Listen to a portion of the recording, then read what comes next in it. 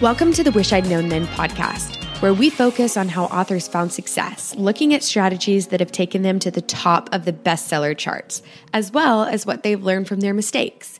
Because being an indie author is more than knowing the latest marketing trend. It's about being innovative and creative and learning from your mistakes. Welcome to the Wish I'd Known Then podcast. I'm Sara Rosett. And I'm Jami Albright. And this week on the show, we have We have Troy Lambert. Yes, we do. And it was great. And I got to meet Troy at the 20 Books to 50K Vegas conference, and he is a great guy. Yeah. So this is a really good interview. We talk, Mhm. he, he interviews authors for Plottr. So we Mhm. talked about, and that's a um, kind of an outlining software that you can Mhm. use to plan your novel. And people use Right. it for all kinds of different things that I didn't Right. realize. But um, so he's talked to a lot of authors, and we talked to him about, you know, what he's learned, talking to these different authors. He's um, he's a hybrid author. He does his Mhm. own books, and then he does some with a publisher. So Yep. we talked about that. Yep. And so yeah, oh, and he had some really good kind of out of the box ideas on how to get your books into bookstores. Yes. Kind of do you remember that? It was kind of like Mhm, not mhm, your normal mhm. uh this is how you do it. So it was really Yeah. good. It was very it was a great interview. Yeah. It- he's a very interesting guy. So, what's Yeah. been going on with you this week? Well, this week has been really quiet because Mhm. Um, my husband was out of town. I had no appointments. I had no podcast interviews. So I just wrote and I wrote more than I have like in weeks. It was great. Oh, that's great. yeah. So I'm feeling good good about you. that. And I did it kind of different this week. Normally I'm trying Mm-hmm. to, I used to just write a book. And then when I got finished with the book, I would do, I would kind of let the admin pile up and I would do that Mhm. when I got done. And I just can't do that anymore. I just have too many things going. I Mhm. think part of it is just the translations have a lot Yeah. of stuff. Yeah. So I tried this week. I thought I'm just not going to answer my email until Thursday or Friday. I'm Mhm. just going to write. And so I wrote Monday through Thursday, and then Friday Mm-hmm. I answered email. And what I noticed was that because I didn't reply to people, Mhm. you know, they didn't reply to me, which creates more work. Mhm, You know, like if you have a question, they answer the question, you have to reply back. So it was Yeah. really nice because it, it kind of bothers me to have those emails waiting for me to be answered. Mm-hmm. But I think I'm just going to put them in a folder 'em. and answer them. Yeah, like towards the end of the week. I think that'll Mhm. be easier. That's great. So yeah, and I bought a humongous yoga ball to sit on while I'm Oh, good. writing.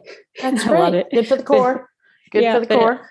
It also took me like 45 minutes to inflate it, so it's huge. I'll post a picture of it in the group. It's amazing. And then, um, so how are the translations going? Oh, they're going good. The French one is up, book one, Yes. and Uh-huh. now I have a plan. I'm going to uh, do book two like a Mhm, month after, and book Mhm. three mhm, will be in 2022, Oh, probably in March. So I'll kind of space those out. And then I decided on the German translations that I need to put a um, the series name Mhm. on the cover, and I we tweaked that, and so that had to be changed. So I'm just waiting for the covers on that, and then those will come out probably starting in December. Great. So yeah. That's fantastic. And Yeah. then you were interviewed for Plottr, weren't you? Yes, that's right. So I will put a Yeah. link to that in the show notes because Yeah. uh, Troy interviewed me because I have a um, that I have the How to Outline a Cozy book in Mhm. course, and they asked if I would like to create a Plottr outline for people Mhm. who are doing cozy. So I did that. So that's in Plottr, and you can find that in their templates section. But he interviewed me about that and about writing cozies, and so Mhm. that's on YouTube, and I'll link to that. oh, that's great. You had a lot going on this week. I right? have, I have, and I haven't. Um, I went to the Twenty Books Vegas, Twenty Books to Fifty K Vegas conference um, in Vegas, and I left on Monday, and I came back yesterday, which was Friday. Uh, it was great. It was great to see people, y'all. it was so awesome, and for those of you that were there and came up to me and thanked us for the podcast and said how much you love the podcast, thank you so much. I called Sara and said, You should be here to hear how much people really are loving the podcast. It just did my heart so good. And I just appreciate y'all so much for doing that. Um, yeah, and my I did a panel on advanced reader copies, Mhm. and I did a, a talk on uh, what I wish I'd known about indie publishing. and the, oh, both of those are up on YouTube now. So we'll put those links in the show notes so you can see those if you'd like, if you didn't get to go.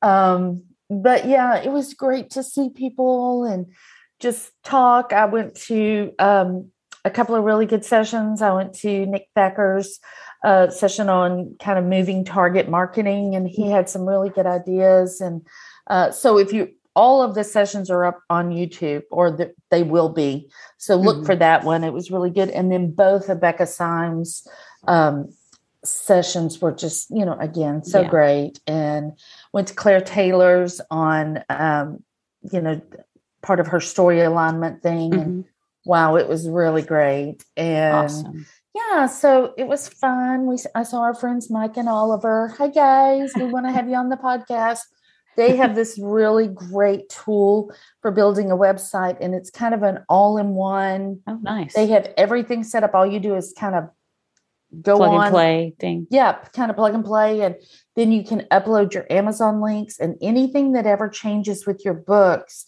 it automatically mm. changes mm. in the on the website yeah it's awesome. so cool that's like a dream such a great true. idea so it's in beta right now i think it's launching in january and we're going to mm. have them on cool in January so that we can um, get them, you know, so you guys can find out about it because it's really such an, a cool tool. I mean, they had on the vendor day, they had just lines and lines of people because it was so cool and such a neat idea, you know. And uh-huh. well, yeah, um, that's needed because yeah, little changes that pile up over time. Yeah, yeah, yeah. I mean, I can't you tell you how many times I've said, you know, on my website, like a month after the book came out, it still says pre-order now. Like mm-hmm. I forgot to go in and change it because mm-hmm. I just don't think about that. It's just you know the small things. yeah, and like if you run a sale, forget, yeah, or anything, it will automatically change. So it's pulling the data it. from the, mm-hmm. the vendor websites. Yeah. and it? so right now it's just Amazon. You know the Amazon yeah. links, but they're gonna try to get, get all the other. Well. Yeah, mm-hmm. and awesome. um what else? Yeah, it was just super fun to see everybody. So Ricardo from Reedsy and Dan Wood and um, Mark Mark uh, Lefebvre and just you know all just got to all our clubhouse, everybody. Yeah, all the clubhouse author friends that I've met while I was on Clubhouse and yeah, great. this is like the first author mm-hmm. event.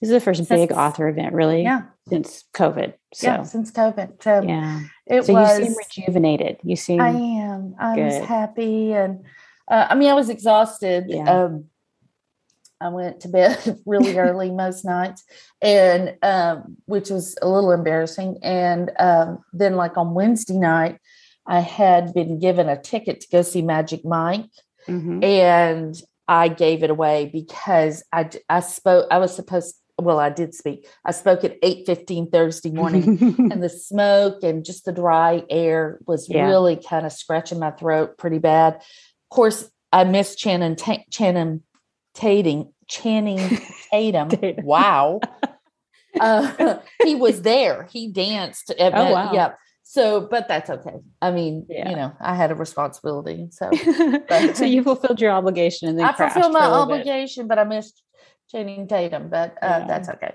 Um, yeah, it was just super fun. Just I'm so fun. glad you got to go and see everybody. Yeah, yeah. yeah. Well, I was good. really, really happy. And uh, they had a big signing yesterday, which I didn't do. Um, I just kind of, at the time when it was time to sign up for that. I'd never really done a signing, and you know, mm-hmm. I've since done a signing, and mm-hmm. I do wish I had stayed and done it. But by the time I realized that, it was too too late to do yeah. it. So, yeah. um, but it's hard shipping books and stuff. So I don't yeah. know, don't especially know. now. Mm-hmm. Because of the supply chain issues, so it really. Yeah, is, I think you have to really plan ahead if you're doing mm-hmm. that. So yeah, Good. so it was great. Yeah. So well, do we have great. a question of the week?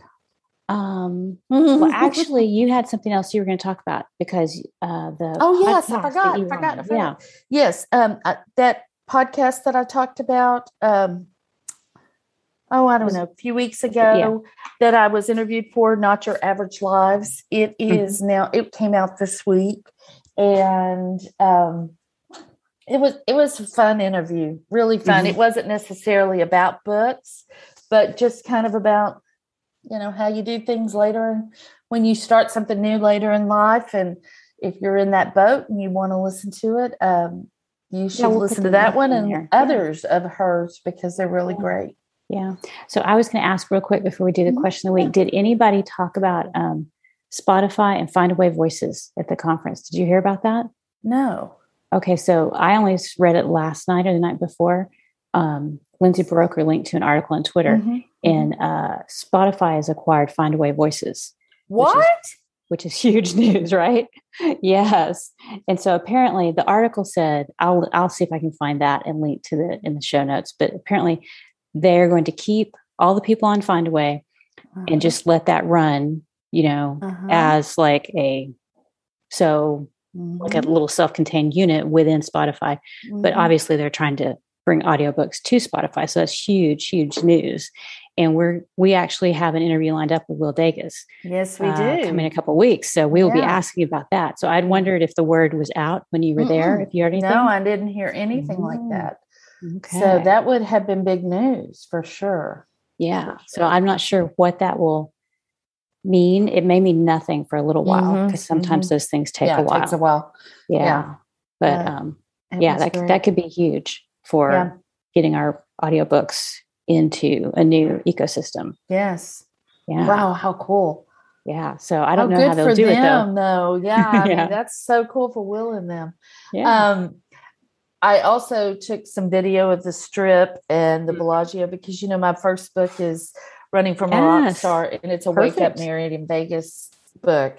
And mm-hmm. so I'm going to use that footage and do something on TikTok with it. So oh, when I when I figure out what I'm going to do and get it edited and stuff, I'll I'll let y'all know. So I'll link to it so y'all can see what I what I did. But yeah, it, it's awesome. just it was just so great. I mean, I, it was great. It was great, y'all. Just great.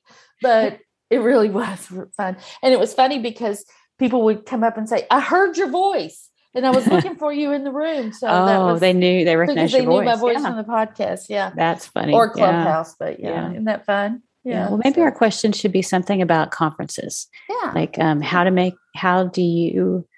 Uh, have you been to a conference? Yeah. And if and you what, do, maybe have. Yeah. What are you looking which, forward to? Yeah. Or which ones do you one? recommend? Yeah. Like what have you? Which conferences have you enjoyed? Yes, let's do that one. Yeah. yeah. So, what do you do when you go to enjoy them? Like, mm-hmm. do you mm-hmm. connect before, or mm-hmm. you know, what are your conference tips? Yeah. And which ones would you attend? Would yeah. you recommend? That's great. Those are good okay, ones. That's cool. a good one. Yeah. Very good. Well, we should get on with the interview. Yes. All right. So here's Troy. Well, today we are super excited to have Troy Lambert with us. Hi, Troy. How are you doing? Pretty good. How are you guys? We're great. We're so happy you're here. Yes, we're going to pick your brain about Plottr and lots of other things too. So, yeah. yeah. So let me read your bio and then we'll jump right into the questions. You bet. All right. Troy Lambert is an author, editor, and freelance writer.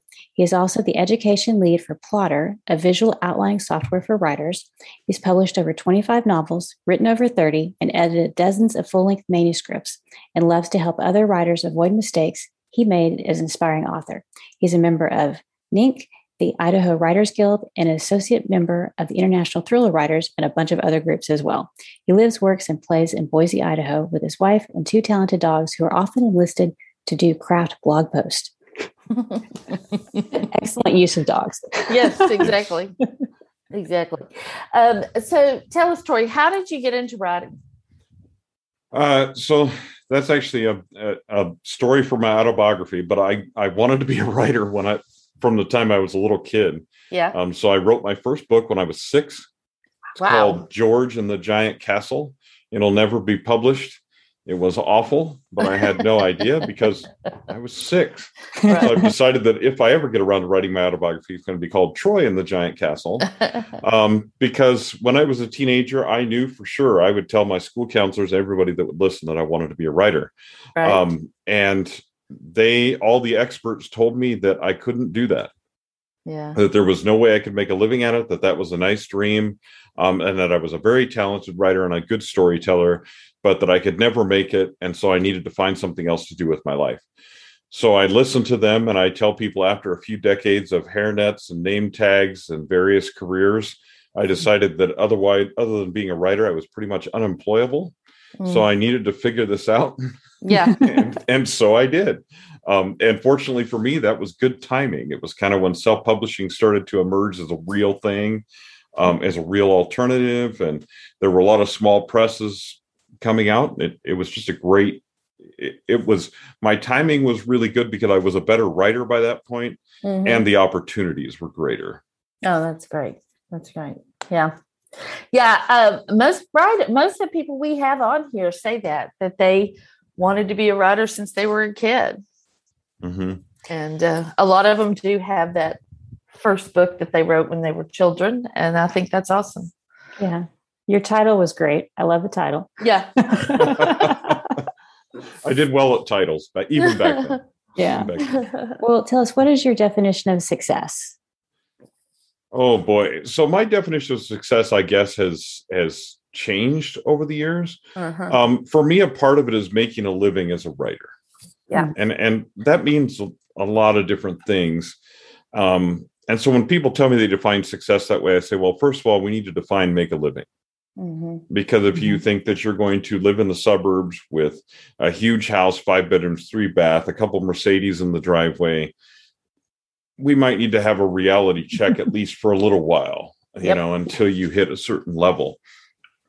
So, but my definition of success really is to reach readers and other writers at this point. I've kind of transitioned to doing a lot of writer education. And a part of that is, and I also like to educate educators because I, I don't want other people to tell people they can't do this mm-hmm. because it caused damage in my life and mm-hmm. to those people that were around me as well.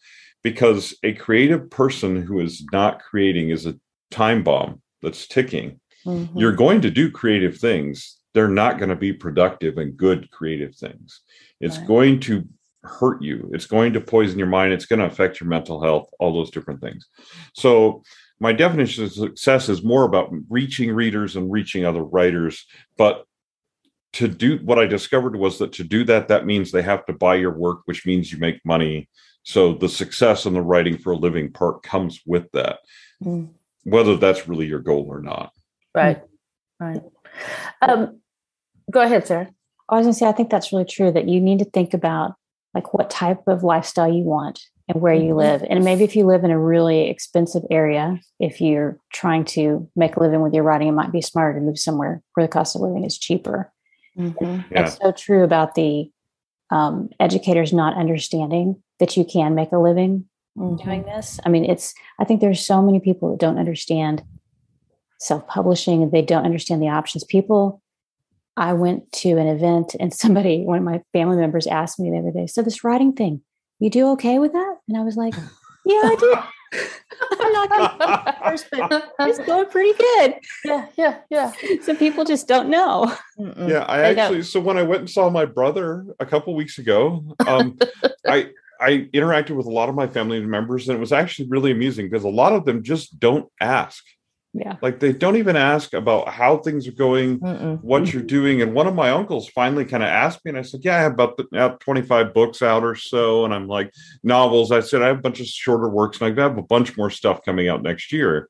And he was like you had he goes i remember reading your first book a long time ago and I go, oh yeah, I remember that book too. like, I don't want to. Let's. Can we move on to talk about another topic? Can I but, get you a new book? Yeah. Yeah. They they for the most part they don't even ask. It's funny. It's mm-hmm. like a really awkward thing that they're like, oh, you're making a living as a writer, and they kind of dance around it like maybe this is a tender subject, and I'm like, it's yeah. not really. No you know it, it's you can do this but we need to inspire people to the fact that you can do this and i wish i could sometimes take educators to big writers conferences that i go to mm-hmm. and just introduce them to people mm-hmm. see this guy he makes about three times what you do teaching school by yeah. writing books but yeah. you can tell your students that they can't make it if you want right right know? there's just an alternative that's the thing i mean there are authors who have gotten rich, published authors who have gotten rich writing um, fiction or even mm-hmm. nonfiction, but fiction mostly. And I make a living writing my books. However, I'm not rich. I just make a living. Yeah. I mean, you know, yeah. I know how much I need to make. My husband knows how much he needs to make. We make that and and we make yep. a living, you know, and I get to do what I want to do. And I think that there is a even in the writer community, there's a little bit of misconception when you say you make a living, you're saying you're that you're rich. Right. Yeah. That's not it. You're making a living, you know, yeah. and so I think that that's important to think about too, you know, and um mm-hmm. but definitely with educators, I think that you know, because what they think about is that big contract, you know, like the James Pattersons and the right, or, you know, or the big literary fiction contracts or whatever. They think success is rare, and I'm like, the majority of us that make a living writing, mm-hmm. for the mm-hmm. most part, nobody knows who we, we are. are. Yeah, outside we're of a, names. we're yeah. we're. I tell people I'm well known in a very limited circle of people, mm-hmm, mm-hmm. but it's enough. Yeah, Mm-hmm. Yeah. It's enough people right. that I I get to do really cool things. I get to speak at conferences. I get to interview writers. I get to do all this really cool stuff. Mm-hmm. But as far as you know, if I walk down the street, does somebody recognize me and stop me for an autograph? No, no. and I don't necessarily even want that. I mean, it might be kind of nice because then instead of walking, I'd be riding in a I don't know, super nice car or something. I don't know what yeah, I'd be doing. Yeah. but yeah, I mean, it's so that definition of success, I think, is really important. And mm-hmm. also the definition of what it means to make a living, mm-hmm. because people just get the wrong impression. You're absolutely right. They think because you can, um, you know, drop a hundred bucks on something that you're you're rich because a lot of writers don't make that much money, Mm-mm. you know, and they really struggle. And I'm like, I understand that, but you know, making a living doesn't mean that I'm just rolling in it over here and I can do whatever I want. So and and you know, when I first started, well, I was fortunate enough that my first book did make money, and then the second book made a little bit more. And then that's when I transitioned to full time writing. But what we did that entire first year was get into a better financial situation. We paid off debt. We got we got mm-hmm. um, things, you know, at a more, you know, we sort of downsized a little bit in other ways so that when I did transition, I was able to do it without a lot of stress because we had gotten rid of a lot of things that cause stress, you know. And mm-hmm. so I think you have to think about that when you um, are trying to make that decision about going full time or, or you know, being a full time author. Yeah, absolutely. You need to be, and, and I don't. I tell people if you wait for the perfect time, you'll actually never do it. Correct. Because it's never yeah. going to be the perfect time. Mm-mm. However, there are things you can do to set yourself up and realize that you're not going to be going out for a hundred dollar steak dinners on a regular basis. No. Um, unless you're willing to work for the man. And mm-hmm. if, if that's what you want to do, that's okay. Because the other thing that I've learned is that not everyone should write for a living. Some mm-hmm. people should just leave it as a side gig or as a hobby mm-hmm. because it's actually a job. Mm-hmm. It's work. And so some of the things that you enjoy doing there are going to be days when you don't enjoy doing them, but you have to do them anyway. Mm-hmm. And then there are going to be other things that you may not enjoy doing, but you have to do them anyway because you're dependent upon this for your income. Right. So, you know, keeping up with changes, all that kind of stuff, you have to do it. Mm-hmm. You may mm-hmm. not like it. You don't want to read that long blog about what's happening with Facebook ads, but guess what? You better. Mm-hmm. You better. You need to understand it. Yeah. So, yeah. I agree. So, uh, tell us what you wish you'd known about writing and craft. Oh my goodness. Well, so probably my most naive thing in my 20s, probably and when I was in college, was that I thought I was a good writer. Don't is, we all? so I tell this story about, you know, I was in a, a, an honors English class at Arizona State University with Phil Mickelson. Okay. Oh, wow. He was the nerd on the golf team. I was the nerd in the corner writing sci-fi novels, which you note I don't write sci-fi novels now. If you if you look at my thing, but I wrote a bunch of stuff, and some of my stories were okay, and they were mm-hmm. all right. But I look back at it now, and I'm like, thank goodness nobody picked up those novels because then people would be able to read them. Yeah, because they were terrible. Mm-hmm. Um, and so I wish I had realized, which is what I realize now, that I'm never going to master this thing I'm never, there's always somebody that's better, already somebody, always some way to improve. Mm-hmm. There's never a point when you get to where you're just like, okay, I've got it, I'm down, I'm, I'm done. I had a friend of mine once tell me, I don't go to writers' conferences because I don't learn anything anymore. Mm. And I went, wow. Yeah. Let me know how you got there. Because I don't know what that's like. Yeah. And this is someone who's published, you know, one or two books compared to somebody who's published a whole bunch of books, you know, mm-hmm. and I'm like, so I wish I had known how much I had to learn and also mm-hmm. how much the craft evolves by what reader expectations are. Things we could have written 20 years ago and published with a big publishing house, we can't even get anybody to look at now, even as a self published author, Mm-mm. because readers have different expectations. And if you're going to do this for a living and not as a hobby on the side or whatever, you can't write um, a thriller that's the length of the New Testament. Most right. people aren't going to read that. you know, they right. want something short, fast, you know, and fast paced and action. Our attention span is just shorter. Mm-hmm. So yeah and i think that that's hard for a lot of people because you know it's this you know beginning writers because it's this opus that they have worked their lives on and you know uh, they poured everything into it and um yeah you got to trim you, yeah. You just have to trim because big big works now i know in romance right now there is a trend that is you know there are romance books over a hundred thousand words Mm-hmm. I personally have a hard time reading that. Like I'll read a fantasy book over a hundred thousand words, but a romance book over a hundred thousand words is tough for me. And so um, I kind of think you have to know your genre too. You know, a, mm-hmm. a, a fantasy book over a hundred thousand words will work. A thriller over a hundred thousand words, sometimes not so much. A romance, yeah. not so much, because it's pacing and you want people to get through it and get to the next book basically. Well, yeah. I mean, the biggest thing about thrillers and stuff that long, and even romances, is carrying the story, carrying what's relatively a simple story usually yeah. with romance, mm-hmm. um, a hero's journey, whatever it is, mm-hmm. or or the typical romance plot you know, meet cute, get separated, come back together, fall in love happily ever after, right? That's a real simplification of the whole thing. Right. But if you think about how simple that story structure is, to carry that on for over 100,000 words is kind of challenging to keep your reader engaged Correct. through all that middle part. You know, Correct. with a fantasy, I expect to come to it and have to memorize the names of 50 right. different characters 30 of them are going to die in the first half of the book, and we're going to introduce right. 15 more. Yeah. And then there's going to be several storylines, and they'll all wrap up hopefully at the end of the book, and it'll be good, right? Yeah. That's yeah. what I expect from a fantasy. I don't expect that from a romance unless you've got some kind of uh, harem, multiple romance storylines. I don't right, know if people right, even write that, but I, I don't yes, read it usually. So, you know, I don't know. it's called reverse harem, and it's super oh successful. Yeah. yeah.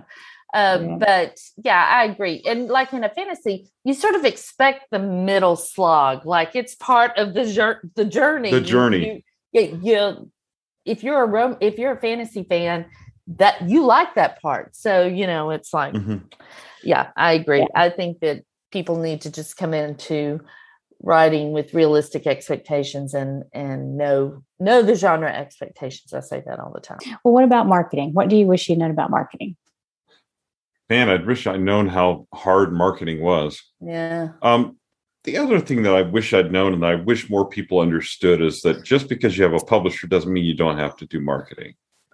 Yeah. Um, mm-hmm. Usually, when you have a publisher, so I tell a lot of our authors what it is is I, as a publisher, can market your book to a certain extent, but people know why I'm showing up at the bookstore if I'm a publisher. Even yeah. my local bookstore, they're like, oh, you got some books to show us. Yeah. right. If you're the author, you're the one that has the passion about the book. And for the most part, as a publisher and even our with our marketing people and stuff like that, what they do is they set up tasks for you to do. Here's a blog tour, go do it. Here's a book signing, go to it and sign books. We're giving you work to do, and there's work that you can do yourself that we can't do. There's people you can outreach that'll listen to the author that won't listen to a publisher. So it's the same thing as an author. I'm like, when you walk into a bookstore, you need to have a plan, right? And a lot of people mm-hmm. don't have a plan. They're like, they yeah. just walk in the bookstore, go, hey, do you want to carry my book? And I'm like, that doesn't work because, right. first of all, you might be talking to the wrong person. Second of all, you know, I mean, so there's all these different ins and outs of marketing that it's just really hard to do. It's hard to master, and it's always changing. I mean, we see now with the you know apple privacy things the changes at facebook stuff like that that our audiences that we were targeting we may not be able to target as much anymore. Uh, we can't know if people are actually opening our emails as much anymore because now there's a privacy level there. And so email companies email providers are struggling to find out a solution for this. You know facebook is finding trying to find a solution. Google is trying to prepare for a cookieless future where there won't be cookies on websites and we won't be able to track those things and you know as people i'm like i love that because i love my privacy is protected as a marketer i'm like i hate that because i want to know mm-hmm. everything about you so i can target just the people that i want right, right. so it's kind of a dilemma so i wish i knew how complex marketing was mm-hmm. and how mm-hmm. much time it took right it, it's a very time consuming part of your if you're going to write for a living mm-hmm. it's a mm-hmm. very time consuming part of your business Right. Yeah. Well, we can't move on without you telling us what is the plan if we work walk into a bookstore. Like, what should we, what what should we say to? So, what I usually tell people is, I say you should have two or three copies of your book with you that you plan to give away. Oh, okay. And the first thing you do, depending on how big the bookstore is, I mean, obviously, mm-hmm. if you're walking into a small indie bookstore, you're going to get you know, hopefully right to the person that you need to talk to. But right. um, Barnes and Noble or something like that, you ask who's in charge of purchasing. Be mm-hmm. sure your books are available for them to purchase somewhere. Mm-hmm. Um, if you just published through CreateSpace on Amazon and selected expanded distribution and used a CreateSpace ISBN, good luck mm-hmm. getting most independent yeah. bookstores. They will not have a, a box that comes into their store that has the Amazon logo on the side. Yeah. If you take your books to an event there, please don't take them in an Amazon box. Mm. You're just going to, that's just a good way to get yourself ousted. And mm. independent bookstores talk to each other. So, anyway, that, mm, yeah. so that never works out. But I ask who's in charge of purchasing. Mm-hmm. And I just talk to that person. And I say, here, here's a copy of my book. I'm going to give it to you, sign it, whatever you want. Here you go um, take my book, read it. Let me know. Feel free to let me know what you think. I put a business card in there. It's got my email on it, all that kind of stuff. And I say, here's the ISBN. It's available through you know your normal things. Sometimes I'll take a one sheet. I create one sheets for my book. Sometimes I'll take those in. Mm-hmm. I send those to libraries and stuff like that, and give it to the person in charge of purchasing. Because really, until you get to that person, even anybody else in the store that's interested in your book mm-hmm. is you know, they might be interested, but they don't have any sway over whether the store actually orders your book or not. Mm-hmm. And then I go to whatever section my book belongs in and I see who's working there. And if mm-hmm. there's a bookseller working there, I give them a copy of my book too mm-hmm. and say, hey, I just talked to your purchasing person. They're thinking about buying this book, um, put stock in it. I'd love to give you a copy, let you read it. Same thing. Let me know what you think. My email is inside mm-hmm. that type of thing. And I'll usually have an extra copy that sometimes I'll give the person up front, depending upon how big the bookstore is.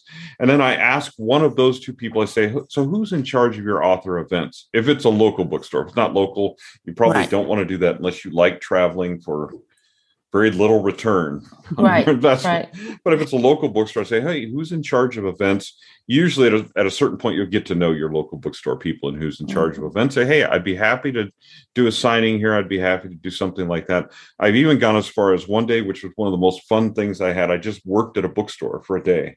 I'm mm. like, I'll just work in your mystery department. I mean, I'll have my books there too, but I'll just I'll just refer people and send them to different books. And if they're interested in books in a different department, I know a lot about a lot of books. I'll send mm them to different departments. And I just worked in the bookstore for them for free, basically, just gave them my time and just worked there. And then oh, said, a great idea. You know, yeah. hey, it, and by the end of it, a lot of people then know who you are and know your face. And they're like, "Oh, that's that guy that works at worked at the bookstore that one Saturday." Right. it's kind of fun. Yeah, that's so. a great idea. That's some so, out of the box thinking. That's that is for sure. That's awesome. So, what assumptions did you make at the beginning of your writing career, and looking back, did they turn out to be right or wrong? Oh man. Well, so at the very beginning of my writing career, I assumed that I needed a traditional publishing deal mm-hmm. to really make it, to make a living. I thought I'm going to do this kind of the self-publishing thing on the side and stuff like that and use it to build an audience then somebody's going to pick up my books and give me a contract and then i'm mm-hmm. going to have made it mm-hmm. right mm-hmm. um, things didn't really go that way. I mean, I ended up with some books at publishers too, but I ended up more of a hybrid deal. And I still do because I really evaluate how much control I want over a project. Right. Obviously, with control comes responsibility, right? Mm-hmm, so if you can mm-hmm. shuffle something out to a publisher, they're in charge of the cover, the editing, yada, yada, yada, yada, you know, mm-hmm. and then they give you a book and you have to market it, but they take a percentage of that, you know, all that kind of stuff. Right. Um, or you pay for it all yourself up front and you take responsibility for the editing, the cover, all that kind of stuff. Mm-hmm. But then you reap the most of the, of the, royalties, but you also have the control of this is my book. I don't mm-hmm. like that cover, so I'm going to put this cover on it. Mm-hmm. I don't like that blurb, so I'm going to write my own blurb. You know that type that type of control that you have. Right. Right. So that's how I evaluate those projects as far as being a hybrid author. But I wish I had just known the myth of the traditional publishing deal. And I've got horror stories that people have told me about getting a, a big five deal and then not having the success they were looking for and getting banned from the mm-hmm. big five, just getting mm-hmm. blacklisted. Mm. And I'm like, and a lot of those people went on to be successful indie authors after right. that right. because they realized this is a myth and these mm-hmm. people are really just literally ripping me off. Mm-hmm. Um, and they put me in a in an impossible position and I can never climb out of it. Right. Right. Yeah. So. Yeah. Yeah. I know I have a lot of friends that are traditionally published. I, I started out traditionally published, and some of my friends are still doing that. And it's almost like you get stuck because you're, especially like I write in mystery, cozies, historical. So that is dependent on a series. And mm-hmm. so if your series is with a traditional publisher, you're kind of locked in or else you're starting something new and it does get a little it, it can be difficult to kind of break out of that mm-hmm. yeah i've heard about some nightmare contracts um, so i'm a member of NINC and and we have kind of a some chat groups and stuff like that and there's been a couple publishers i won't name any names for people have literally signed deals when they were younger authors where those publishers have a lifetime mm-hmm. contract on their book. They basically just own it forever. Mm-hmm. There's it doesn't expire. So getting your rights back from those publishers is almost impossible. It, it's just an absolute nightmare. Or where a publisher has first right of refusal on your series, like you were talking about, and they take your series, they take the next book in your series, but it takes them two years to publish it. Mm, yeah. So that whole time you missed out literally on two years of earnings, and your mm-hmm. readers are going, "Why isn't this book? Why is this book taking two years to come out?" And right. like we were talking about before the show, basically you have no control when you have it with a mm-hmm. publisher. So you have to say, "It's with my publisher. They're producing mm-hmm. the book. It'll be out when they release it, and you right. have no choice." Right. And that really puts you in a difficult position as far as timing releases, all that kind of mm-hmm. stuff, which are really important for your revenue as right. an author for making right. a living. Yeah. So I mm-hmm. wanted to circle back to the hybrid author thing. So is control the main thing you think of when you make that choice about whether you want to indie publish or hand it off to a publisher? How do you how do you decide? Oh, that it's an evolving thing, but it's primarily control. It's primarily control. I'm more inclined to put a standalone with a publisher and keep a series for myself. Mm-hmm. Yeah, I could see that. Yeah. And that's yeah. the part of that reason is that lead time.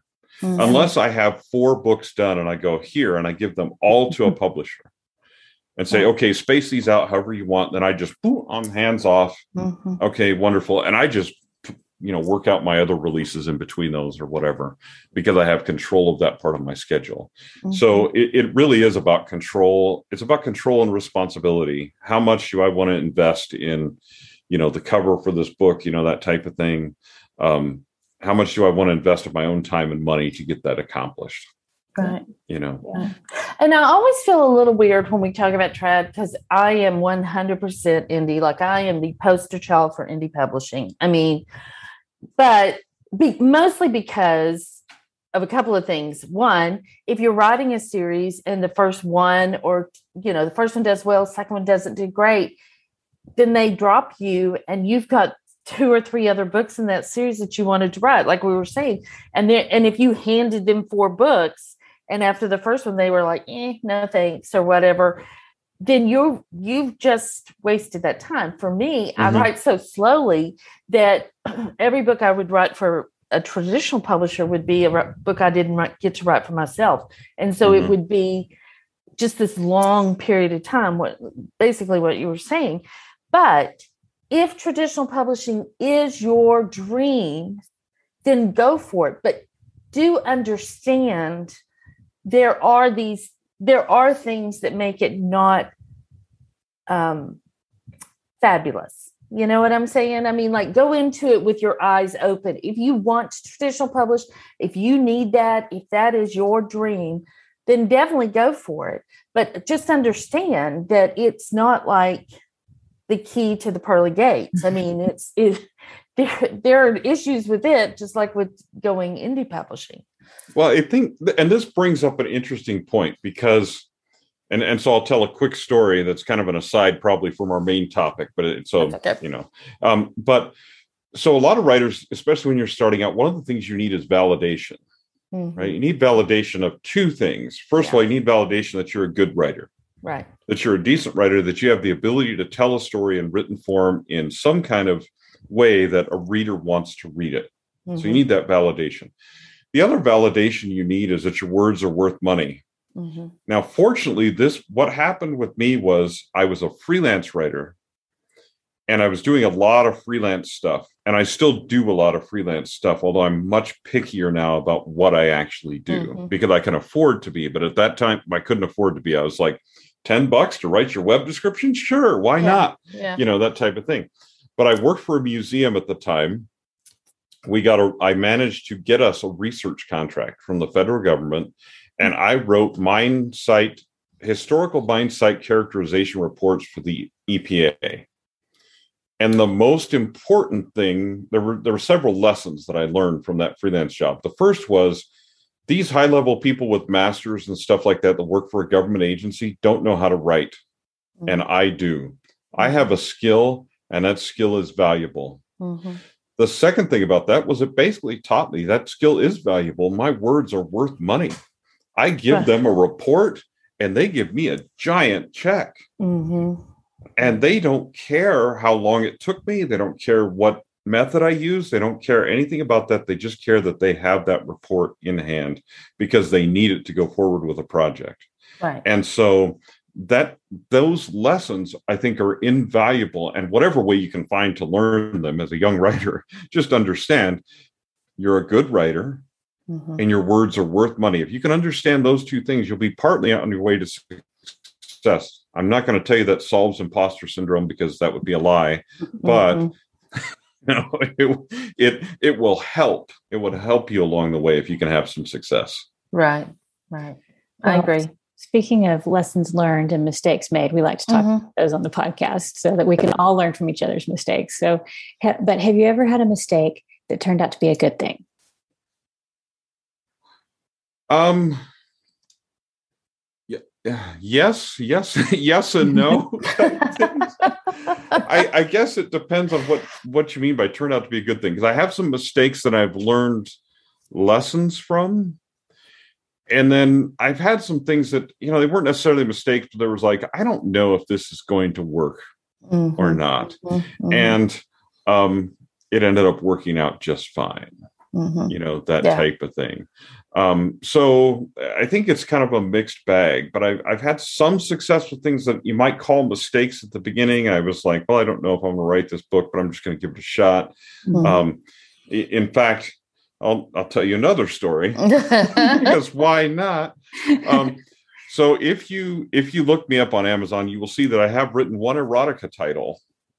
Mm. I was mm. working for a publisher at the time, and I was actually I was a I I worked as an acquisitions editor, then a regular editor, um, and then I took over as a managing editor for this series because nobody else wanted to do it. The series was called City Nights, and it was a series of, I wouldn't even call it erotica, I'd call it steamy romance mm-hmm. type novels. And so I agreed to write the first one as an example. This is really what we're looking for. Is this is novella? It's this length. It has these elements to it this is what we want. We want not pure erotica. We want story. With it. We also want it in a specific place, so people are introduced to a specific place. So I live in Boise. Mine was One Night in Boise. That's the first in the City Nights series. And I've sold a lot of copies of that book. Um, and it's really, I mean, that was a number of years ago now, probably eight, that's probably eight years old, 7 or mm-hmm, eight years old. Mm-hmm. Um, and it still continues to sell. It's with a publisher, you know, it's a novella, so it's just digital. Um, yeah. I just tell people you're welcome to go read that erotic if you want, but then if you're friends with me, you can't come up to me and go, "Oh, really?" Because yeah, that's exactly. just not, that's just not cool. But um, it was a it was a thing that I was like, I don't know if writing outside this far outside my genre is a good idea. Well, I wrote it, and what it ended up being was there's a mystery element to my erotic erotic novel. There's a detective and his wife. There's a murder. There's yes. a solution to the crime. I'm like, um, so I basically just wrote a mystery with erotic elements on top of it, and and called it steamy romance, and there it is.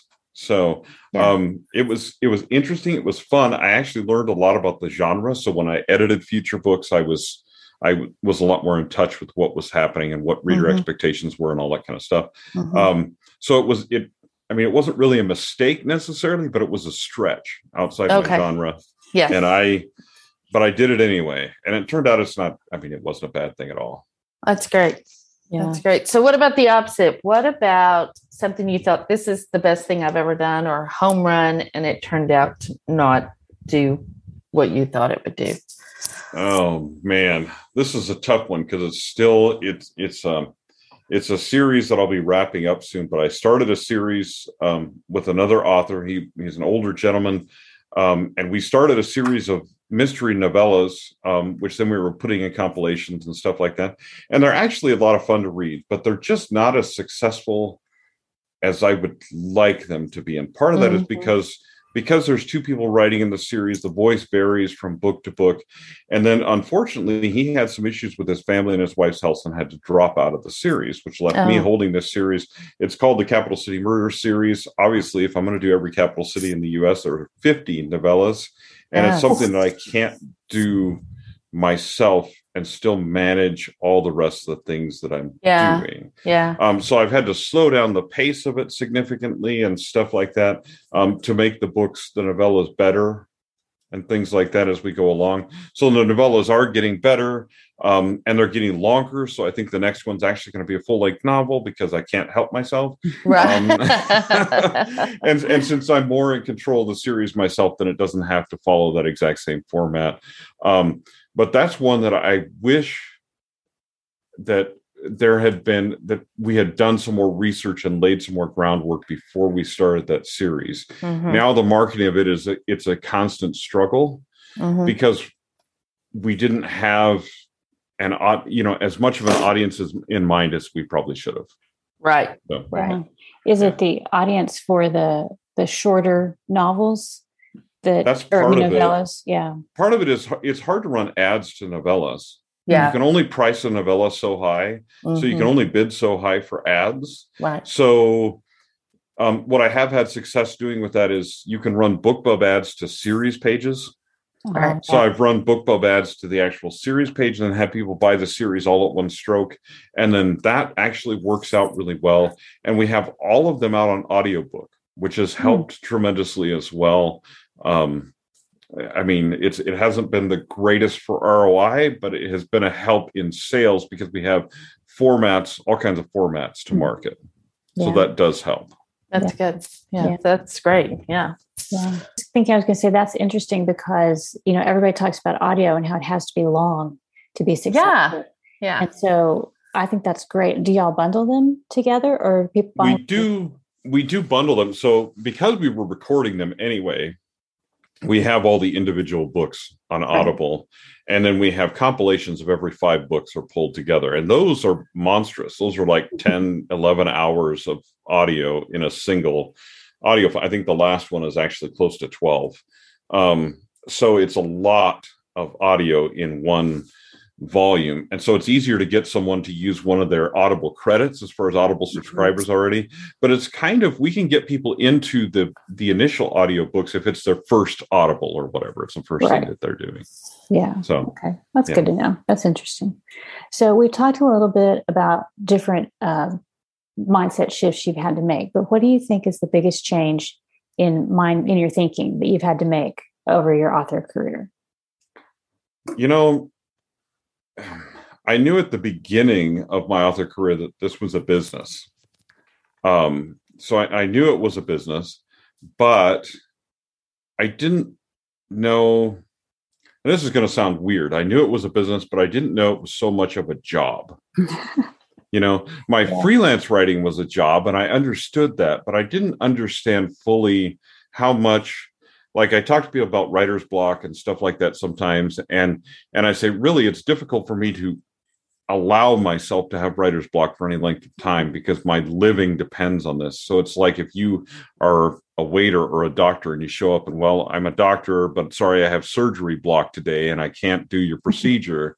Well, then you go home, right? I mean, and you don't get paid, right? So, and they find somebody else to do your job eventually. And so I didn't realize how much of a job that this actually is, that a lot of times it's just a matter of sitting down, training your muse to show up as much mm-hmm. as that is possible and just doing the work and then also the marketing work that goes with it right. and just understanding this is nearly a full-time job just doing your books it's it's nearly mm-hmm. a full-time job and you have to do it you just have to show up and do it mm-hmm. Because nobody's going to do it for you you take a few days off you come back to your office and everything's exactly the same no right. temp came in and cleaned things up for you or did things for you you know so oh, that it, it's somebody definite, would do my bookkeeping right you know like, yeah it's a definite shift that, in yeah. mindset well and you can pay people to do certain things you can outsource right. certain things in your author career but everything you outsource that you're paying for eats into your return on investment mm-hmm. yeah. so you have to evaluate you know and i try to evaluate it by would i be better off writing? Mm-hmm. You yeah. know so if i go well maybe i could resurrect that old series and do this ad campaign and do this and do that but would i be better off writing the next book? Right. And yeah. if the answer is yes then i write the next book you know i start writing the next book so. Yeah. Yeah, there's an interesting um, pressure that like if you're in a creative industry and you have to be creative kind of on demand or continually then it brings an interesting uh, stress to it. I think that maybe like like if you're a surgeon or a plumber or whatever, you know what your job is and you just have to go do it and you have to deal with the daily grind.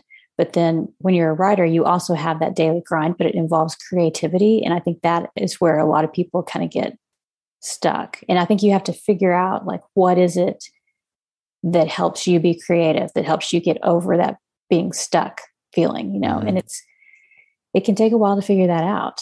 You know, yeah, if you're, you if, you're to... if you're not used to just if you're able to write whenever you want and then you write when you don't want and then you have to write, it's a whole different ball game.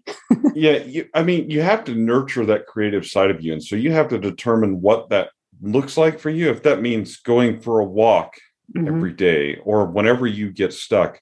Um, mm-hmm. Um, we were just talking the other day about um, one of the guys that, um, uh, well, Douglas Adams used to take baths. And I mean, he must have had an incredibly huge bathtub um, because he was a really tall guy.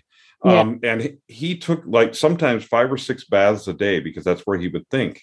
Um, wow. There was another writer we were talking about, I can't remember his name right now, but he would take like eight showers a day because it, shower was his thinking time. Uh-huh. And so he figured out, well, if I need to think, I need to go in the shower. And so he would just get up from his writing, go take a shower. So sometimes he would take you know, eight showers a day. And so I'm like, you know, the side effect of being a great writer is dry and chafed skin. I was going to say, you know, you need lots like, of lotion if that's. And I'm like, I need a bigger bathtub if I'm going to be like Douglas Adams. So you just yeah. need to figure out what it is that works for you, and it's not the same for everybody. You know, right. Whatever, but whatever that is for you, you need to figure out how that is that you that you nurture your creativity and give it a chance to work the way it should and then I use mental tricks. I only in Word, Microsoft Word, I only edit and write nonfiction in Word. I write all my fiction in Scrivener. Hmm. And the reason is when I open Scrivener, my brain knows we're doing creative writing right now. We're not editing, we're not doing tech writing, we're not doing nonfiction. We're doing we're writing that's what we're doing right now um, and so it's a it's kind of a mental trick for your brain also you can do that with a place You show up at a certain place. I have people that they have a different desktop on their computer for when they're writing. You know, whatever yeah. the case may be, whatever mental trick you have that keeps your muse engaged, use it yeah. Use it. And yeah. it, it, may take you a bit to figure it out and figure out like what time of the day is your best writing time of the day. Try different ones and see see what works. When i first started out i had kids at home little kids at home. Thankfully they're all gone now but i had little mm-hmm. kids at home. And so i would get up at 4.30 in the morning and from 4.30 to 7 i would write. Now was that always the greatest time in the world to be up? No but it was quiet and there was no way my kids were going to get up at 4.30 in the morning if I stayed up late, they might stay up late or try to sneak out of the room late or something like that. But 4:30 in the morning, you couldn't yeah. wake those kids with a bomb. It was yeah. fantastic for yeah. me. Yeah. right. So that's usually a quiet time. Yeah. Yes. Some work done. So yeah. And I think you're right. You have to figure out what works for you. And it may take a little while to um, kind of figure that out. But speaking of figuring things out, you've been working with interviewing writers for Plottr. And so we wanted to mm-hmm. talk to you about Plottr and yeah, uh, kind of give. Can you give us just for people who aren't familiar, just a little kind of overview of what it is, and then we would love to hear if you have um, any takeaways because you've done a lot of interviews with authors. So, yes. any wisdom that you picked up from authors? Oh my goodness, I could go on for a long time about that. So first, I'll introduce you to Plottr. So Plottr is a visual outlining software uh, for writers. It's like a it, it's hard to describe because it's kind of like a corkboard, only way better. And there's all kinds of other features that you can use and places to develop your characters and all that kind of stuff. I mean, there, there's all kinds of things you can do with Plottr, right? Um, so it, it's a great program. We have all kinds of demos. Just tell you, you know, go to plottr.com and check it out. Um, and then you can also check out Thursdays with Troy, which is an interview and um, kind of plotting series on Thursdays. There's a lot of them on YouTube. If you join Plottr, you can watch them live in our in our um, Facebook group as well. Um, but the main takeaway that I have from interviewing tons of authors, and I kind of knew this from being from hanging out with authors. When I first started out, I was very rigid in my ideas of how you needed to do things. You need to write every day. You need to do this. You need to do that. Right. Um, and people would say, I don't have to write every day. And I'm like, well, that's very nice for you. But, you know, I would kind of poo poo it, you know, or poo poo um, writer's block or mm-hmm. whatever. And what I found by interviewing authors is, first of all, they bring their creativity to the planning process as much as they do the actual writing of the book process. And everybody does different things. Everybody does something different, and there's not really a wrong answer. I've just had some light bulbs go on different times when I'm talking to writers that I'm like, there is something I never would have thought of, but it's brilliant at the same time. It's absolutely mm-hmm. brilliant. Mm-hmm. Um, and the other thing that I've learned is we talk about story templates and story structure a lot in that series. So if you go watch right. it, you're going to see that a lot. Um, and I found that story structures are all very similar. They're usually three or four act structure. A four act structure right. is really just act two broken into two parts. Yes. And they have a very similar number of elements and arcs. The primary difference between the two is the way you as a writer thinks. So because one of them works for me has no bearing on whether it'll work for you or not. So people are like, "Oh, the hero's journey, save the cat. This is the mm-hmm. this is the thing everybody should use." And I'm like, "Actually, that is the wrong answer. What everybody should use is what works for you, what you're comfortable right. with." Right. And so that's that's one of my biggest takeaways is that mm-hmm. there's just there's not a wrong way of doing things. Yeah. Pretty much just yeah. your way. Yeah, and that's cool about Plottr's that there are so many. I'll have a lot of templates in there and they're all unique and have their own kind of twist on it but it, it, it does show how many different ways there are to do things so yeah you can make your own and i've created one and you can find it if you go to youtube and look up the one of the first youtube videos we did was about the sleuth's journey which is mm-hmm. a mystery template i developed by modifying the hero's journey for mysteries yeah. there's nothing unique or special about that beyond that that i modified it in a way that works for me that works for mysteries and it just adapted the hero's journey. So mm-hmm. you can make your own. You can do your own thing whatever it is um, and people use that software. So it's basically like a linear planning software so they use it for everything. I have my rolling writing schedule in Plottr mm-hmm. people have their 2021 goals some people use it yeah. for meal planning i've seen people do all kinds of weird wacky stuff with it that i would have never thought of uh-huh. but it works so I'm like, you get the beauty of different software and tools like that is you can use whatever you want in whatever way you need that works for you. You don't have to follow somebody else's lead, but every now and then you get great ideas from somebody else that will just spark something in you. Um, and that whole collaboration and community thing is a really big deal. Yeah. Yeah. Yeah, it's very cool. Yeah. But we also wanted to talk to you about um, stand up comedy. So I saw on your website that you do that. Does that help you with your writing or is that just something that you do on the side for fun?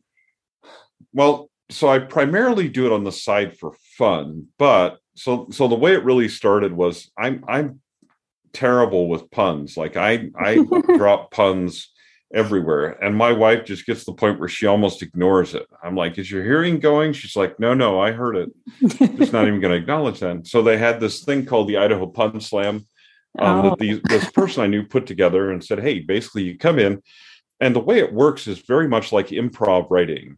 You oh. get a prompt at the mm-hmm. beginning of it and you get like 10 minutes to prepare two minutes of material. You've got a two minute time limit. You get two minutes of material with puns on whatever topic they hand you when you arrive, right? And so then you get up, you perform your two minutes of puns. And then at the intermission of the show, there's usually about 10 people in the show. And then at the intermission of the show, you go out and you get another topic, and you've only got the time of the intermission to prepare for your second set. And then the ending of the show is whoever's the top two from that particular night, you kind of have a pun off. You get a topic and you get like a minute or so to decide what you're going to do. And then you just go back and forth with different puns.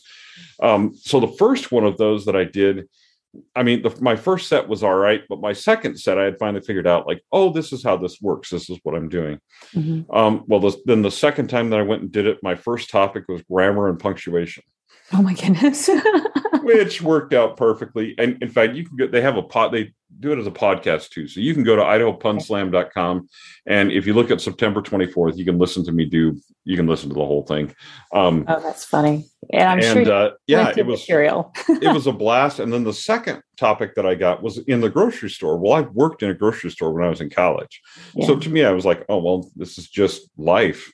Mm-hmm. I'm just making up puns about my life, which I do all the time anyway.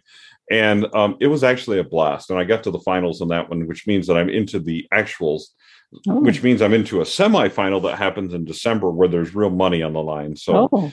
um, I've decided I need to read up and actually maybe work on this pun thing a little bit. Um, and there's another one this coming Saturday, so I'm going to go do that too. So wow. it's it's more something I do on the side, but I think it it's a great outlet for my for my mm-hmm. creativity. Mm-hmm. And I think having other outlets, there's a lot of writers I know that are musicians or which I would love to be musicians, but I can't play any instruments and I can't carry a tune. Um, mm-hmm. So there is that minor obstacle. Um, but if you have a creative outlet other than writing, I think it's really good for your muse to just give yourself a break and go yes. paint a picture, go photograph stuff. Go whatever hobby it is that you have that's apart from writing but that's also creative i think mm-hmm. that creates some real opportunities for you and it gives your muse a chance to recharge on something that's not work. It's not right. what you what you're what you're writing all the time and what you have to work at. Yeah. So i looked it up. One of my favorite uh, quotes from churchill is about a pun. It says um, a joke is a very serious thing and he has a very uh, another one i can't think of the one about puns. But anyway, so yes, and I think that's interesting that like that a pun is so short and so punchy. And so it's probably a nice change from like a long manuscript. mm-hmm. Yeah, and it, it, it's it's really fun. And also the other thing that's fun about doing something like stand-up comedy or music or whatever it is that you do is you get an immediate reaction from the audience. Mm-hmm. So you can you can immediately know. Well, a lot of times when you're writing, you don't know. Even when you send it off to beta readers and stuff like that, you're like, maybe they're just being nice, and you know you don't know until you actually put something out into the world whether people like it or love it or not. That type of thing. And with with an audience, a live audience, you get immediate response. I like to do poetry slams and stuff like that sometimes as well for the exact same reason you get an, a, a reaction to your poetry. My poetry, it's funny that I do stand up comedy, and my poetry tends to usually be pretty dark. when I write poetry, it's when I'm in a dark place or I'm writing about a dark subject and I just really yeah. need to get some emotion out about it. And I write a poem about it. Um, and so you know when i do poetry it's not funny at all and mm-hmm. you know i do i like to do um, stand-up comedy and pun slams and stuff like that yeah. um, so it's a completely different thing but it, it's the mm-hmm. same thing you get a reaction from the audience you can tell whether you're emotionally reaching them or not right. and i think that's a it's nice it's a nice feedback that because that's immediate so it's yeah. something writers don't get a lot yeah yeah i can see how that could be that could be nice. So, yeah. Well, what's the best thing you've done to set yourself up for success? Um, I think the best thing, man. I, so okay, so I'll I'll limit it to two things. Let's put it that way. I think the first thing as a writer to um, set yourself up for success is learn to take criticism and feedback, and learn that I, I just put it to people this way you can be as artsy as you want about your book when you're in the process of writing and creating it. That's fantastic. And you can do that all you want. Once you've written the end, it's now a product that you need to get in shape for the market to sell. And you need to divorce yourself from your work and look at it that way. 90% of the time, when your editor sends you back edits, you should just approve all of them and move on with your life um, and then move on to writing the next book. I understand that that's hard, and I, I don't mean do blanket approvals. I mean you need to read through them.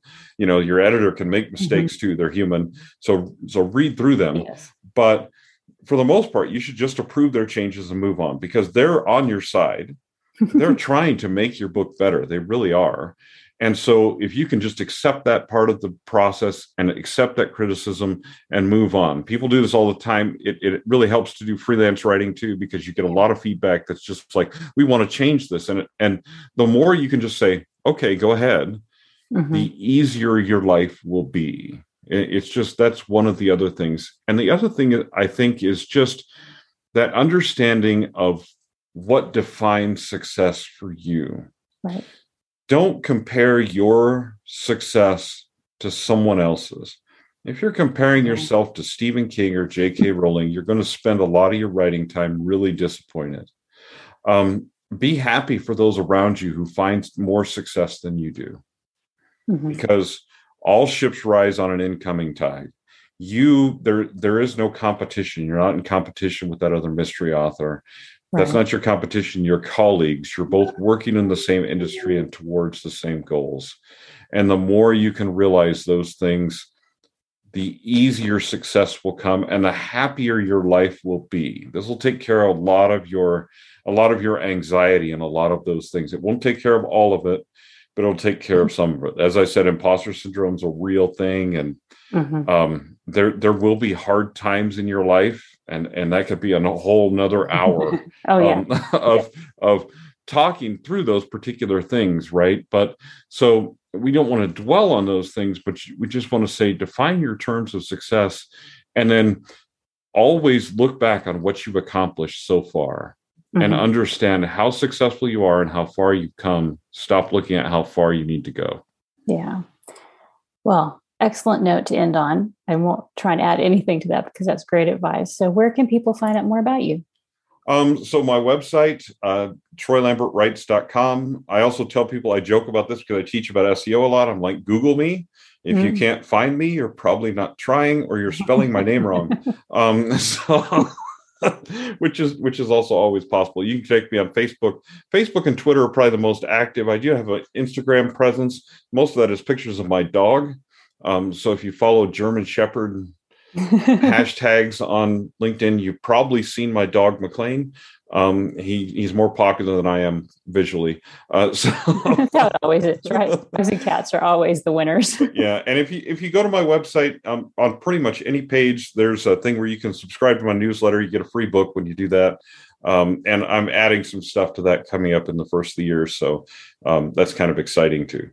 Okay, well, great. Well, we'll have all those links in the show notes, and they will be at wishidknown.them And we wanted to say thanks to Alexa Warburg for editing and producing the podcast. And we'll see everybody next week. Bye, everyone. Thank you. All right. Bye. Thanks for listening to the Wish I'd Known Then podcast. We hope this episode inspired you, empowered you, and made you laugh a little bit too. If you loved it, tell your friends about it. And if you feel so inclined, leave us a review.